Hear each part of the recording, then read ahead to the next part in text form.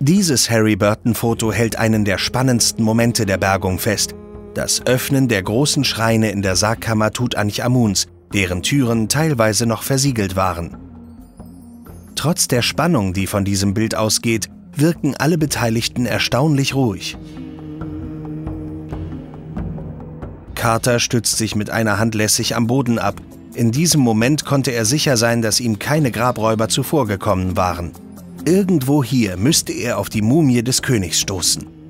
Gerade ist er dabei, die innerste Schreintür zu öffnen. Aufmerksam verfolgt Arthur Callender, Carters wichtigster Mitarbeiter, seine Bewegung. Ein ägyptischer Helfer sieht dem Entdecker über die Schulter. An der linken Tür des äußeren Schreins sehen wir Tutanchamun mit der Doppelkrone von Ober- und Unterägypten. In der rechten Hand hält er die königlichen Insignien, Wedel und Krummstab.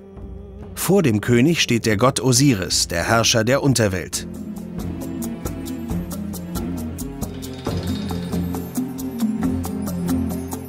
An der Innenseite der rechten Tür des zweiten Schreins breitet die Göttin Nephthys schützend ihre Flügel aus. Über allem erscheint die geflügelte Sonne.